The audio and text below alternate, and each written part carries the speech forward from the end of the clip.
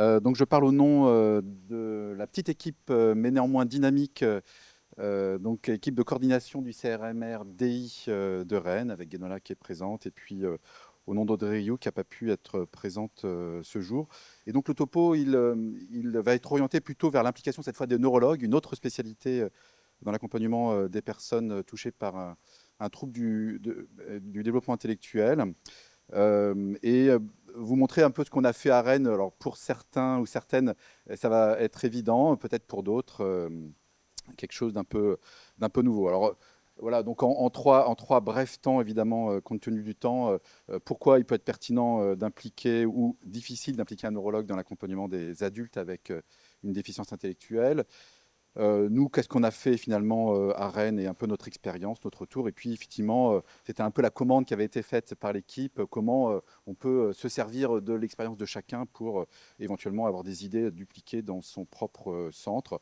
évidemment, là, il y a beaucoup de... Il faut rester très humble parce que les choses sont quand même encore très complexes.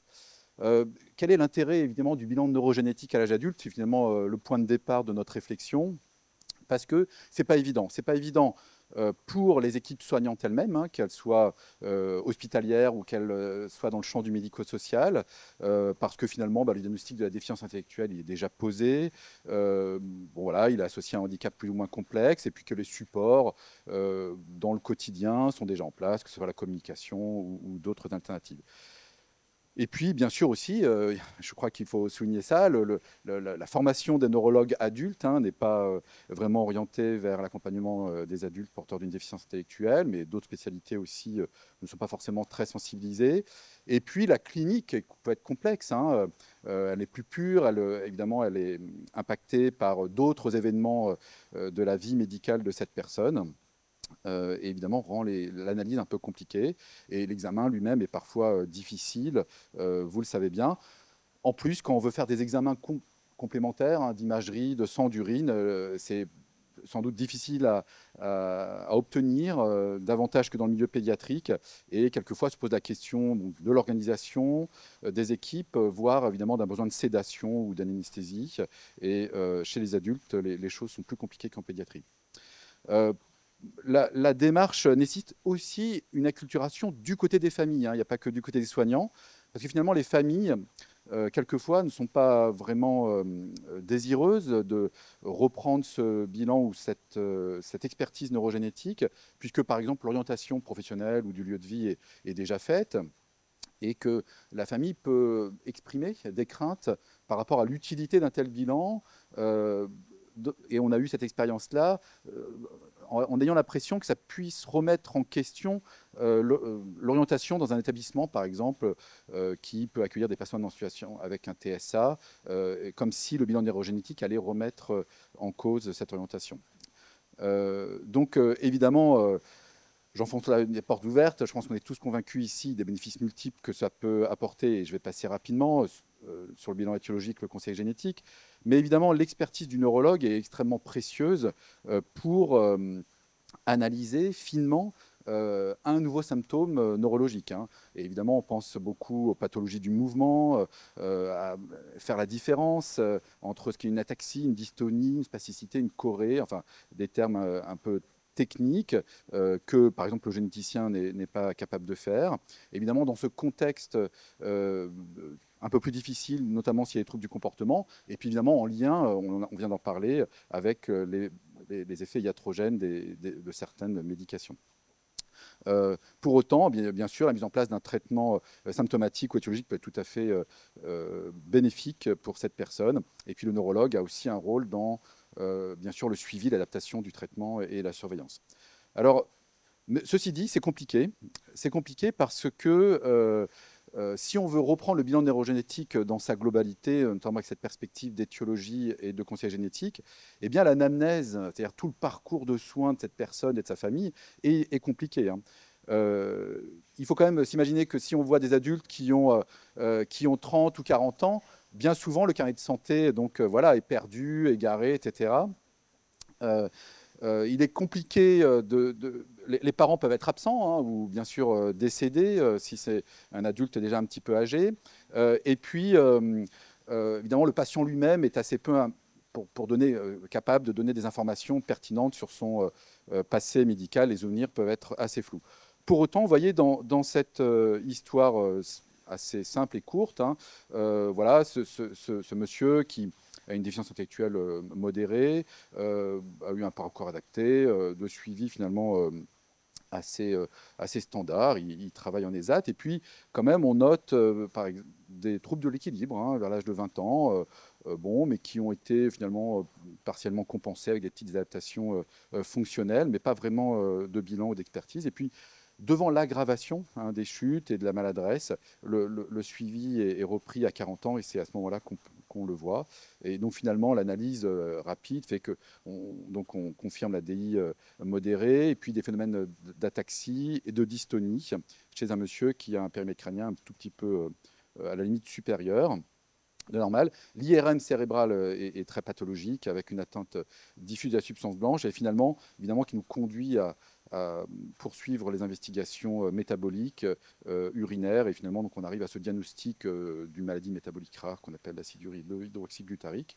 Et finalement, vous voyez, à, à l'interrogatoire, euh, quand on le reprend, finalement, on s'aperçoit que les parents finalement euh, avaient un lien de parenté, hein, d'où euh, la variation homozygote pour, pour les généticiens, ce qui validait bien sûr tout à fait le diagnostic et qui a permis de mettre en route un traitement par vitaminothérapie et, carnitine qui a été vraiment significatif pour, pour ce monsieur. Euh, en termes de, euh, le, rôle du neurologue, c'est aussi bien sûr euh, dans, le, dans, le, suivi hein, des patients, et parfois l'enjeu, c'est bien de distinguer l'évolution d'une maladie neurodéveloppementale de celle d'une nouvelle, d'une nouvelle pathologie qui est surajoutée et indépendante du trouble du neurodéveloppement. Et, ça, c'est évidemment pas simple, puisque parfois, évidemment, tout n'est pas en lien avec le handicap. Il peut y avoir des maladies surajoutées, des complications euh, non spécifiques en lien avec euh, la position euh, ou, des phénomènes douloureux. Et puis, bien sûr, comme l'a dit le docteur Chaumette, certaines pathologies font elles-mêmes le lit d'autres complications dans, la délétion de Kuhn pour le Parkinson, par exemple, comme cela a été cité, mais bien sûr plein d'autres pathologies. Donc, euh, de faire finalement la distinction entre ce qui relève de la maladie neurodéveloppementale et son évolution et de l'anticipation de ce qui serait euh, autre, un autre phénomène est, évidemment euh, pas simple et on a besoin des neurologues pour ça. et enfin, mais ça je crois qu'il y a un topo derrière aussi sur le vieillissement, donc je ne vais pas trop m'attarder, mais il y a bien sûr aussi l'idée de distinguer le vieillissement pathologique du vieillissement plus physiologique. Et donc, on pense là aux complications neuro-orthopédiques ou ostéoarticulaires qui peuvent être euh, très fréquentes et bien sûr source, de douleur. Et par exemple, pour ce petit cas clinique euh, très simple que euh, pardon, Audrey Rioux a, rencontré, hein, donc un, donc un patient d'une cinquantaine d'années qui, dont le diagnostic bon, avait été porté d'une infirmité motrice cérébrale, avec une déficience intellectuelle. Et euh, euh, donc, mais l'entourage lui-même se plaint que depuis une année, les, transferts sont beaucoup plus difficiles. Il y a une perte de la mobilité du bras gauche. À l'examen, il y a évidemment un, examen clinique complètement anormal et l'IRM est rapidement faite pour finalement mettre en évidence, voyez, une, une myélopathie, mais vous voyez, acquis cervico-arthrosique du canal cervical qui est à l'origine de ces nouveaux symptômes. Euh, donc en conclusion, euh, à l'évidence, euh, pour tous ces patients adultes, il y a beaucoup de défis qui, et c'est pour ça que, encore une fois, il faut être humble, mais c'est compliqué. Hein, l'histoire personnelle de ces patients, l'histoire familiale, elle est complexe, elle est parfois perdue, elle est difficile à reconstituer, mais pour autant, elle est évidemment très importante dans, dans l'analyse qu'on peut en faire.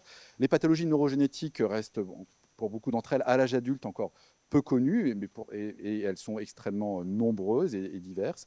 Et puis, même à l'intérieur d'une maladie euh, unique, on peut avoir un spectre phénotypique très varié, euh, ce qui rend évidemment euh, les choses assez, assez diverses. Et puis le défi, c'est aussi d'emporter l'adhérence hein, des familles, des soignants, des neurologues, donc pour revenir à eux, mais aussi de nos structures, que ce soit les établissements santé médico-sociaux dont on sait qu'ils sont confrontés à, beaucoup d'autres difficultés en termes de, ressources de personnel, ou dans les hôpitaux pour se structurer en vue d'accueillir une population avec des besoins assez spécifiques, il y, a, évidemment encore beaucoup de défis. Alors, les deux dernières diapos, c'est que, nous, ce, qui a fonctionné un, peu à Rennes, mais évidemment, c'est loin d'être parfait, c'est qu'on est dans cette idée de de sensibiliser ces futurs neurologues eh bien, à la thématique des personnes porteuses d'une déficience intellectuelle. Donc, par l'organisation euh, auprès des étudiants en médecine d'un séminaire de sensibilisation au handicap, euh, qui est obligatoire pour tous nos étudiants de deuxième année, qui est actuellement en cours euh, et qui marche très très bien, je dois dire. On espère que ça va porter ses fruits dans les années à venir. C'est d'accueillir des internes en neurologie dans nos centres de, référence. Et c'est comme ça que le docteur Rioux a rejoint ensuite notre équipe. Et puis, c'est de faire quelques publications. Et donc là, évidemment, euh, tout, ce que je viens de dire là, en fait, a été publié euh, dans, cet article. Et je remercie euh, mes collègues de la Pitié Pétrière, évidemment, qui sont aussi très en avance sur ce sujet, et évidemment qui est largement disponible. Donc ça, c'est, on a voulu l'écrire en français aussi pour qu'il soit finalement un peu plus accessible aux neurologues de notre territoire. Et évidemment, je peux le diffuser largement à votre demande. Et enfin, euh, je crois que l'autre enjeu, c'est aussi bien sûr de favoriser, de faciliter euh, l'accès euh, à ces soins spécialisés pour ces patients TDI et leurs familles. Et donc, ce, qui fonctionne bien à Rennes, mais peut-être que vous avez aussi mis ça dans vos centres, c'est la mise en place de consultations binômes. Enfin, voilà, on n'invente rien, c'est évidemment bien connu, mais pour autant, euh, ça a vraiment apporté une plus-value dans l'accompagnement euh, euh, de ces personnes, en leur évitant de multiples allers-retours, en croisant les expertises sur un seul temps, et on est assez content du fonctionnement, et, les familles aussi, bien sûr, euh, de ces binômes neurologues généticiens, neuropédiatres ou plus récemment pédopsychiatres euh, généticiens. On attend, euh, bien sûr, avec impatience de pouvoir faire des consultations avec nos collègues psychiatres d'adultes, mais ce n'est pas encore à l'ordre du jour. L'idée, c'est aussi, bien sûr, de favoriser l'autonomie des patients avec TDI, et donc l'équipe du centre de référence s'est mobilisé pour euh, se former euh, au label S3A et, vous savez tout ce qui tourne autour de l'accessibilité universelle et euh, bientôt, prochainement, grâce au soutien de la filière déficience, une, un nouvel, éducation, une action d'éducation thérapeutique autour de la fratrie. Et puis, nous attendons également, pour une meilleure connaissance, une description de l'histoire naturelle des maladies du trouble du neurodéveloppement à l'âge adulte, avec cette étude personnage portée par l'équipe de la Pitié qui a financé, auquel nous participions volontiers. Merci.